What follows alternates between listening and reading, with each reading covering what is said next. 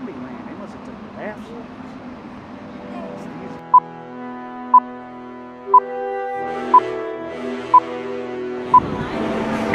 Big city of dreams, everything in LA ain't always what it seems.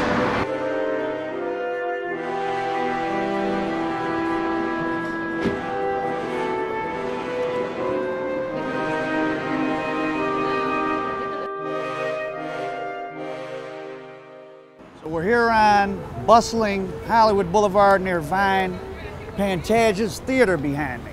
Now, Pantages Theater is the site of one of the great old scandals of Hollywood. Um, the Pantages was actually a chain that operated all around, maybe not the whole country, but there was 84 of them. And it was owned by a Greek man named Pantages.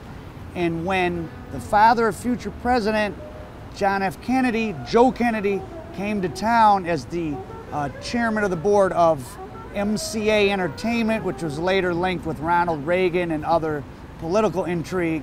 He wanted to create a vertical monopoly. He wanted to own the studio that made the content, and he wanted to own chains of theaters that put it out.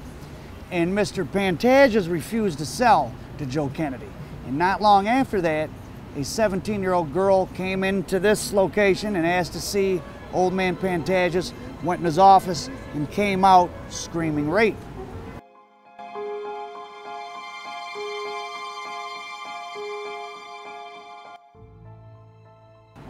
Pantages was, uh, was found guilty and sentenced to about 50 years in prison, but the judge immediately felt something was wrong, let him out of jail.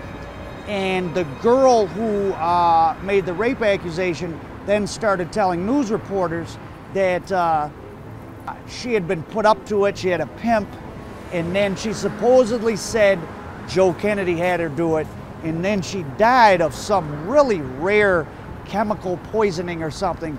Um, there's some issues about the veracity of a few of the things because this story was almost 100 years ago, but uh, knowing a lot of things about Joe Kennedy, I could believe he had a pimp send a girl in to pretend to be raped so he could ruin the reputation of Mr. Pantages. Because even though Pantages was eventually let out and exonerated, he lost all his money and the value of the chain plummeted, and Joe Kennedy and MCA bought it for pennies on the dollar. So Hollywood is predatory now and has been predatory from the start.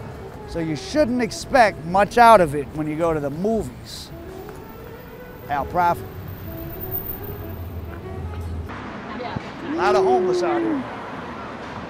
Right on the, right on the boulevard. Right by the stars.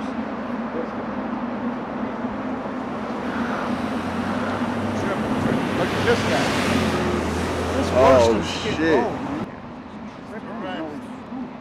Oh, what is that? Bruh. This shit so ill. let me get you. Let me get you walking over to the stars real quick, and then I'm gonna stop you and get some slow motion real quick.